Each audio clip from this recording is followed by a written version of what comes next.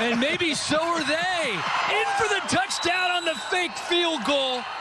My goodness, Jack Browning, the holder, in for the touch. Aggressive call on the fake field goal pays off for the Aztecs. Boy, that is a huge call.